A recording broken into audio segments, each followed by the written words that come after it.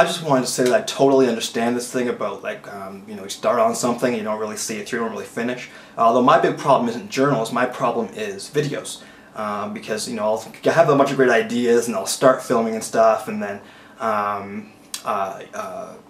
I I am think I'm gonna go play some video games.